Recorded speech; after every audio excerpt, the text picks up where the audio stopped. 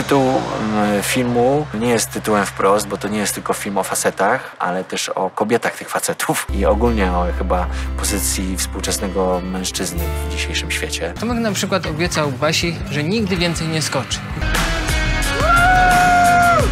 O mężczyznach ogólnie nauczyłam się ich obserwować. Z biegiem lat mam już pewne wyo- wyobrażenie i wiem, że, że na pewno mężczyznom trzeba dać troszkę wolności, żeby oni czuli, że faktycznie mają to pole do popisu. Tomek rozkręcił jedną firmę, drugą i teraz chce się cieszyć życiem, a tu ciąża i to podwójna. Dziwisz się, że facet świruje?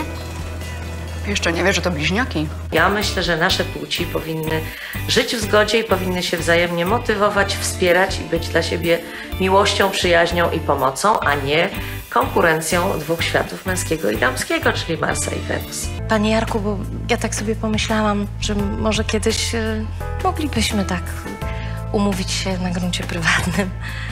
Tylko pan, ja.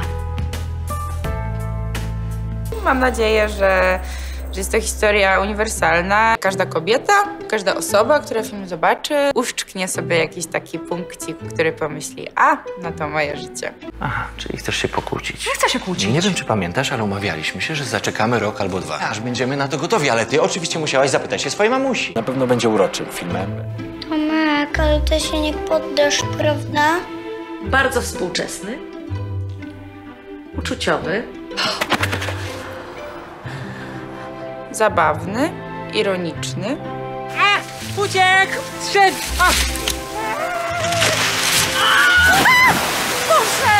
Będzie wzruszający. Tak bardzo bym chciała, żeby ktoś kiedyś mnie tak pokochał. Ja myślę, że to może być fajne dla nas, aktorów do grania, bo jest to zupełnie tworzenie kogoś innego. Już tak zupełnie e, odjeżdżamy.